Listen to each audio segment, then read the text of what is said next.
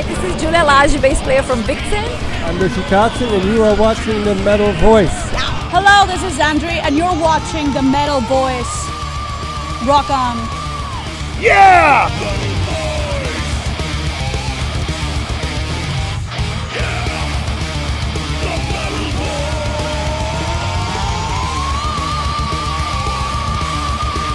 What's happening, everyone? This is Neil Turbin, and you're watching the Metal Voice. And we're here at Rock for Ronnie with the one, the only, Andry Yeah. LaJoy. Did I say it right? No, nobody can. Okay, let me try it again. Andry LaJoy. Lag you. Okay, I'm gonna try it again. Andry Lagu. All right. Never. It's never going to happen. So we Well, we to- tried three times, but Andry, it's, Yeah. you look beautiful. It's so nice to see you. Thank you, Neil. and Thank you for. you're such an awesome singer because I mean we heard you today at Rock for Ronnie, and also the other day you were jamming with um, Doug Aldrich and Glenn Sobel in the rehearsal. Yeah, yeah, it was great. It was amazing. Thank you for having me. And it's like uh, an honor to be here actually in LA with you guys and rocking the stages and, you know, pass the message to the people. Rock and roll. We're here for a good cause, for the dead and the living, and to make this uh, world a little bit more beautiful. And Andry, if you guys don't know, you should know because Andry was one of the contestants on The Voice in Greece, right? Yeah, yeah, that's that's correct. Yeah, a few years ago, uh, I was on The Voice of Greece. It was a blast. It went viral worldwide. It was great, and I'm glad for this experience. But we have more going on. We have more things going on. Uh, I have my, my upcoming album. You have a new album that's out, yeah. Yes, Skies. Skies is out finally. I'm so grateful. We charted the NACC number 10. Uh, we charted, uh, like in America, it's going great. I'm really glad that I did it with my producer and sound engineer. He's right behind Jay Ruston. Uh, so I'm, I'm grateful to be here. And, and you came a long way too. Tell us where you you're, you came here from. Yeah, I came from Greece actually. I came all the way from Greece to perform here. Wow! So Oh, wow! Look at those eyes! Holy smokes! Look at that! finally you can see my eyes. She's sparkling. I'm sparkling. I'm glowing. It's like a light in the dark. As uh, yeah, so so tell us about your band. You have a band also. You've been touring, and you're on you're coming you're on a tour coming up, right? The Kings of Thrash with Dave Ellefson Yes. and uh, and and, uh, and and and Jeff Young. Jeff Young and Yeah. and and and, more. and, and more more people. Yeah. yeah.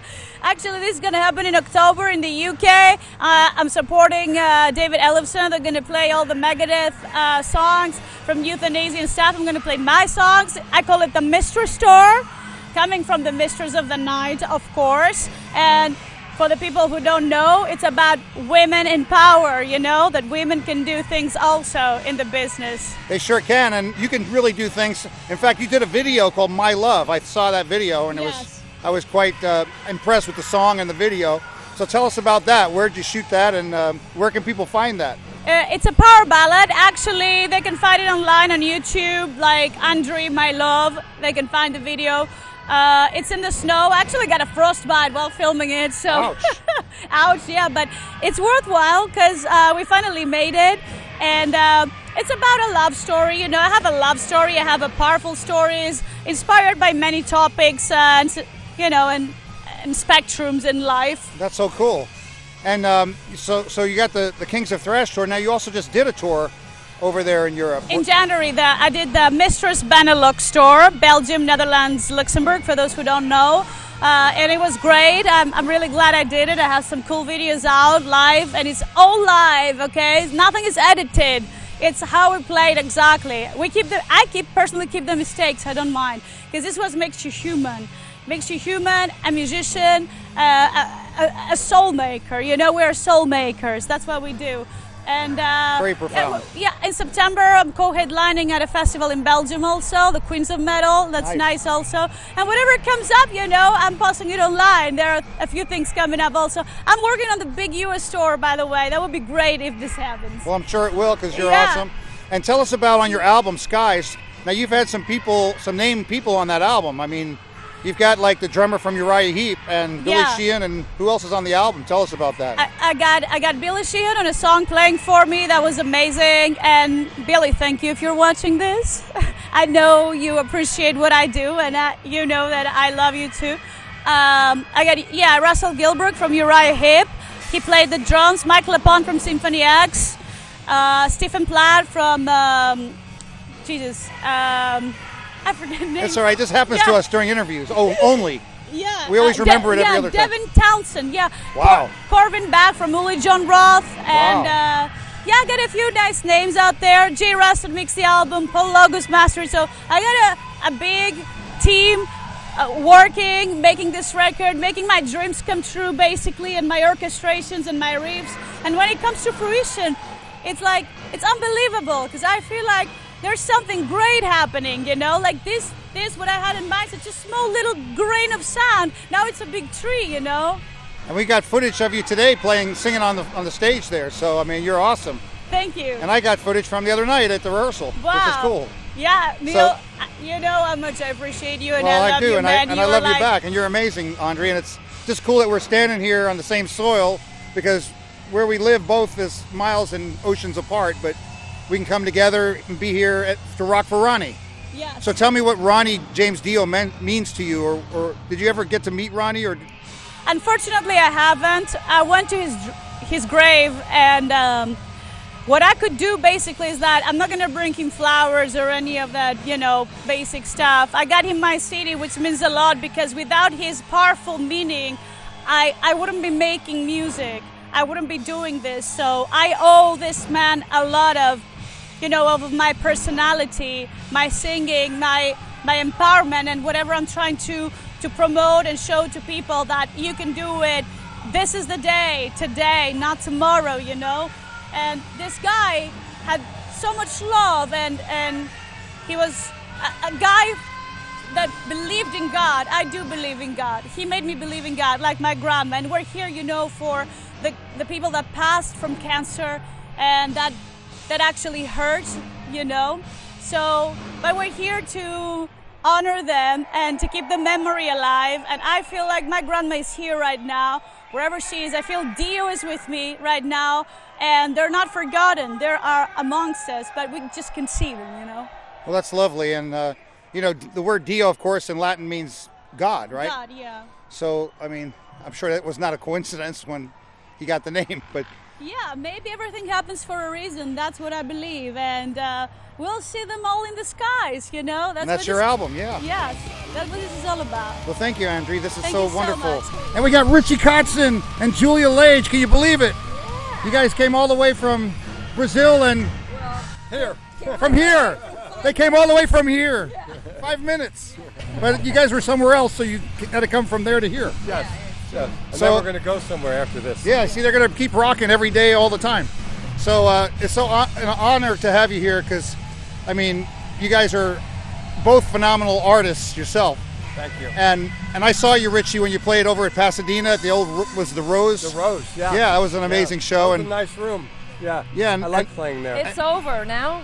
yeah. Well, yeah, that's But it. and, and Julia being with Vixen and Now touring Vixen, yeah. and playing, of course, today at the, the Rock for Ronnie, Ronnie James Dio and Dio Cancer Fund. So tell me, uh, Richie, I know that you've uh, you know you play with the Winery Dogs, and I know that uh, I guess um, the drummer's now busy back into Dream Theater. So so what's going on with the Winery Dogs? You guys going to be doing some more shows uh, anytime in the on the radar screen? No, um, for the reasons that you just pointed out. Okay. Um, so uh, I'm going to be going on tour with my trio. Okay. We played a, a warm up, two warm up shows this weekend, and on June 2nd we fly to Europe, and we've got six weeks of shows, um, some of my own shows, some festivals. Uh, I think I'm opening for ZZ Top on one evening and Wow. Extreme on another evening, Wow. and so some very exciting stuff for me. Yeah, and then sure, for anyone. Got home, uh, putting out a new album on September 14th. Congratulations, that's Great amazing. album, by the way. Thank you. And uh, and then I'm going to do two months worth of touring in the United States. That's amazing, Richie. And so, um, so you all used to. So Julia, I mean, God, I, I got to figure out which question. So, so Richie you used to play in Poison. Uh, we don't talk about that. Okay. That's old news. That's but- like nearly 30 years ago. I know, but I'm, you know, Oh, some people want to ask that question. Julia has much more interesting things to talk about. Okay, so we talk about Vixen. So, so tell us about joining Vixen. What's, Well, it's been two years and a half now. We released a song brand new with a new formation called Red. It's out and we're touring, you know, summer is busy for us. It's gonna be good. also, I play bass on Smith Kotzen, which Smith is absolutely. and Adrian Smith. They have an amazing project. So if you want to talk about new stuff, Yeah, yeah. They also wrote an Smith. album, and I don't know when you're gonna be releasing, but there's something coming probably in the future. So that's well. uh, so, so Richie, that's an album number two for Smith Kotzen. Uh, it would be, yeah. And Julia um, played some songs with Adrian and I. Yeah. Oh, cool. So um, we're still in the infantile stages of figuring out, uh, What's gonna be? of, you know, of that. But uh, it looks like there will be some stuff coming in the foreseeable future. So I'm excited about that. That's awesome. That's so so cool. So you guys just you just did a show last night at the Canyon Club, didn't you? Yes. Yeah, so we did two warm up shows this weekend, Friday and Saturday here in uh, Southern California.